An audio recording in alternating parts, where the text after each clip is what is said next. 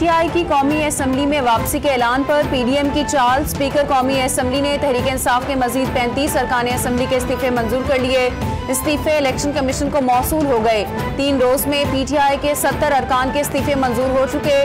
खुसरो बख्तियार, आमिर कियानी, फ़खर इमाम, करामत खोखर, अंदलीब अब्बास के इस्तीफे मंजूर, मलिका बुखारी और दीगर भी शामिल।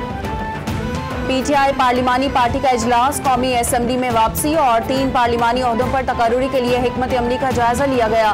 इजलास के बाद पीटीआई वक्त स्पीकर से मुलाकात के लिए पहुँचे, पार्लियामेंट के गेट पर रोक लिया गया। पंजाब का निगरान वज़ीर अला कौन? मुशावरत के लिए पार्लिमानी कमेटी की मीटिंग आज होगी। सदारत स्पीकर सप्तान खान करेंगे। हुकूमती पार्लिमानी कमेटी में असलम इकबाल, राजा बशारत और हाशिम जवान बख्श शामिल।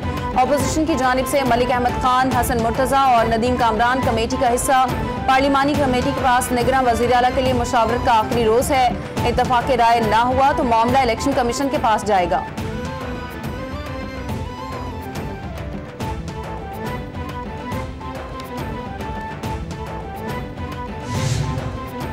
वज़ीर अला पंजाब चौधरी परवेज इलाही की जेर सदारत, आला सतह का मुशावरती इजलास निगरान वज़ीर अला की नामजदगी पर मुशावरत, चौधरी परवेज इलाही बोले निगरान वज़ीर अला की नामजदगी के लिए अपोजिशन का रवैया गैर संजीदा है।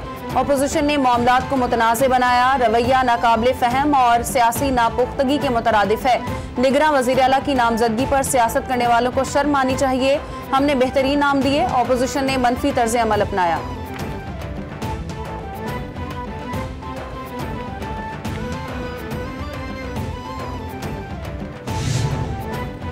खैबर पख्तूनख्वा में निगरान वज़ीर अला के नाम पर डेड लॉक बरकरार वज़ीर अला और अपोजिशन लीडर के दरमियान दूसरे रोज भी मुशावरत ना हो सकी।